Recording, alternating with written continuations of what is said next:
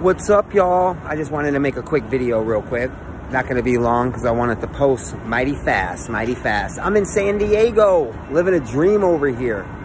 It's fucking way cooler vibe than LA. I don't know if you know this, but LA got a fucking whole breed of fuckery going on down there. I just wasn't feeling it. But here, this vibe is decent. Really decent. But what I need is for y'all to let me know how I could be a better service, right? Because this YouTube channel is all over the place. And I need to dial in. I need to dial in. So I'm thinking something along the lines of, you know, something along the lines of like, you know, divine mission, fucking being supported by the universe, fucking embracing just whatever the universe brings my way. Complete faith you know what I mean? Starting my channel with a little direction because right now it's all over the place. But then again, that's just how I live my life, you know? I don't like planning shit out because man plans and God laughs. You know what I mean? But I fucking got a Planet Fitness gym membership because it was 24 hours and the price was right. The price was right. So I went off and did that. But then I get down here and fucking Planet Fitness is a fucking hop, skip, and a jump away. Like, meaning it's far. It's like 12 miles.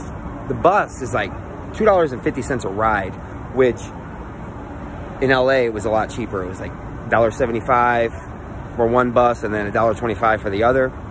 But the fact of the matter is, I set my intention. If you fucking are on your mission and you support all who is in service to love, and you got the means, I'm gonna leave my motherfucking link down below. And if you wanna send me a blessing, you go right ahead, because I'm gonna need to manifest this new 24 hour fitness membership. But there's a few people that have already helped me out, and I am so thankful. And I'm not looking for another handout from y'all. What I'm trying to do is manifest a new divine being so that's my intention. But either way, I already know I'm supported. I already know that I'm fucking well taken care of. And when I need it, it will show up. Hence the definition of abundance. Having exactly what you need when you fucking need it. I'm all spun off off this coffee. Had a little Kratom. Kratom's been amazing. I haven't been using it. I use it like maybe every three or four days, which is a blessing. Um, my plans out here are to just move around, see what I'm down here for. I know this dude, Paul Chek, has a spot down here who is hella inspirational. I haven't really followed his content too much, but I know he's a divine warrior, so I might just pay him a visit. I was intending to attract the health nut, that nutty motherfucker, certified health nut, because he his stomping ground is Venice Beach. But it didn't happen. And everything happens for a reason. So I'm not worried about it. I you know, honestly, I had I had an idea that it wasn't him. You know, it wasn't him. It really wasn't. Just because you know, I don't know. I'm not going to say anything that will come from judgment because what I have to say sounds like it's judgmental, but it's not. But it just you know, different, just a different fucking purpose, I guess, you know? But we will see. Not that I don't like the guy. I fucking love his mission. I love his message and I support him 100%. But for some reason, for some reason, maybe it was in a past life, we had an incarnation together and he pissed me off. Because I don't have any ill words for the guy, but something about him, maybe it's his vanity of him always flexing and showing his muscles off. And I had a problem with that, and I'm working on that. But I know that my vessel that I was blessed with is a blessing. I am beautiful, I am whole, and I am complete. And it doesn't matter what I look like. As long as my expression is love, then I'll be exactly where I need to be. Attracting who I need to attract. 444, baby. See, my angels are with me. Everywhere I go, I am connected. I have a message everywhere. I'm not even kidding. I'm saying absolutely everywhere that I go, there is a message for me. Just drifting along For example, I go in LA. I go to get on a Greyhound, right? Well, I go to buy the ticket and I have a problem with my baggage, right? Because I got hella baggage, but I'm on minimal resources. So I go to buy my ticket at the counter and she's like, oh, you get one free bag and then you got to pay $20 for each one. I said, well, that shit ain't going to work. Fact of the matter is, you know, I asked her a few questions and seeing if there was something that I could do.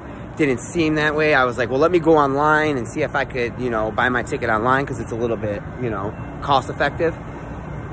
And I realized I didn't have a Wi-Fi signal, so I couldn't do that. So I go back up to the counter and, you know, I'm asking her about the baggage because it's fucking, you know, really wishy-washy.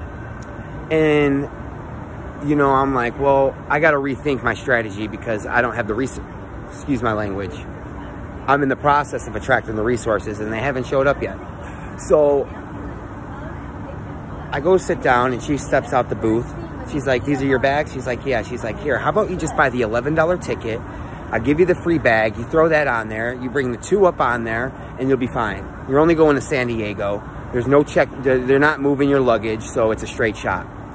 I'm like, thank you so much. That's what I'm talking about. The universe will make a way for you. When you, do, when you think all else fails, it will make a way for you as long as you are in service to love. And I am living proof of that. And then on my ticket, I'm looking at it, that was $11, and $11 was posted twice, so it was 11.11. It was divinely guided. But now I need to manifest this gym membership, so I got a place to wash my ass. I can't be looking funky. Look, I look funky as a motherfucker right now. Plus my tan line is all jagged off. You see what I mean? But it's all good. I'm still beautiful as fuck.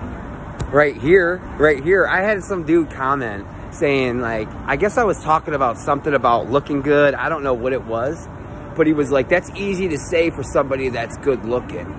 Try being ugly. And I said, well, if you really knew anything about love, that you know that the outside beauty is an illusion. It's all perception. I could be handsome to one person and fucking ugly to the next. But one thing that is true is that beauty comes from within, and you can't deny that. You can't deny true inner beauty. It is fucking just radiates out. So any of you guys struggling on that reflection in the mirror, find out what's right in here, right here, and learn to love that. And this will come into play.